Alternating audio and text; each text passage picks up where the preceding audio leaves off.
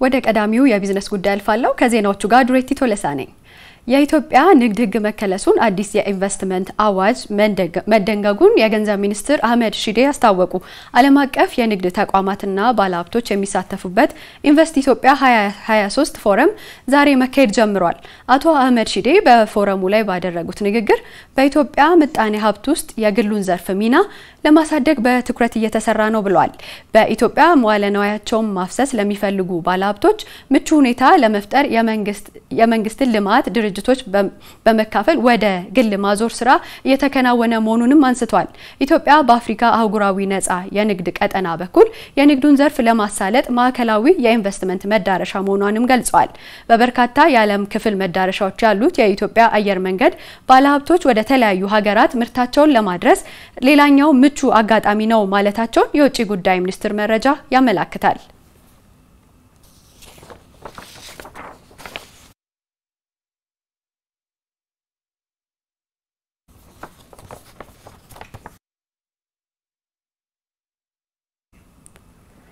የኢትዮጵያ ታምርት ንቅናቄ ለአምራች ኢንዱስትሪ ዘርፉ ከፍተኛ መነቃቃት መፍጠሩን ተመላከተ። የኢንዱስትሪ ሚኒስቴር የክልልና የከተማ አስተዳደር ኢንዱስትሪ ቢሮዎችና ተጠሪ ተቋማት የ2015 በጀት ዓመት የ9 ወራት እቅድ አፈጻጸም ሪፖርት ግምገማና የምክክር መድረክ በጅጅጋ ተካሂዷል። መድረኩ በተካሄደበት ወቅት የኢንዱስትሪ ሚኒስትር መላኩ አለበልና የሶማሌ ክልል ርዕሰ መስተዳደር ሙስጠፌ መሐመድን ጨምሮ የፌዴራል፣ የክልል፣ የከተማ አስተዳደርና ሌሎች የሚ የሚመለከታቸው ባለድርሻ አካላት በተገኙበት ነው። አቶ ሙስጠፌ በመድረኩ ላይ ባደረጉት ንግግር ኢንዱስትሪው ለአንድ ሀገር እድገት ወሳኝ ከሆኑ ዘርፎች ግንባር ቀደሙ ነው ብለዋል።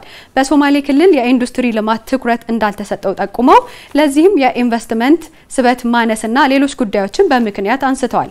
በቀጣይም በክልሉ ምርቶችን ወደ ውጭ ገበያ ለመላክ ለወደብ ያለውን ቅርበት ግምት ውስጥ ያስገባ የልማት ስራ ይካሄዳል ማለታቸውን ኢዜአ ዘግቧል።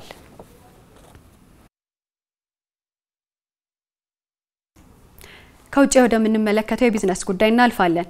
የመጀመሪያው ሪፐብሊክ ባንክ አክሲዮኖች ድርሻ የአሜሪካ መንግስት ጣልቃ ባለመግባቱ ምክንያት ዝቅተኛ ሆኖ መመዝገቡ ተገልጿል።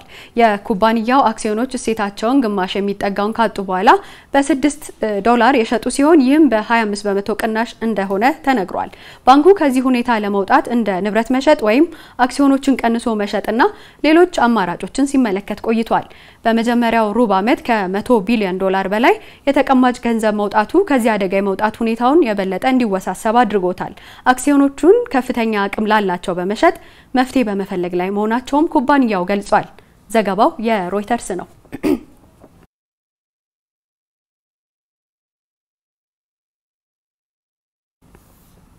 ለሰዓቱ የያዝናቸው ዜናዎች እነዚሁ ናቸው። መልካም ምሽት።